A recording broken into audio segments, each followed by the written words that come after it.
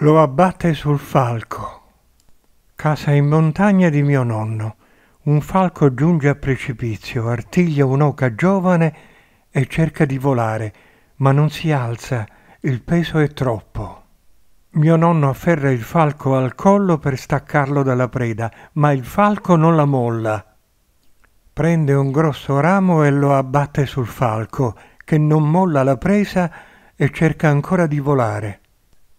Mio nonno picchia più forte e il falco muore senza mollare la preda. Quale esperienza ha fatto quel falco? Commento. Il falco è stato solo un sensore dell'anima gruppo a cui appartiene il predatore.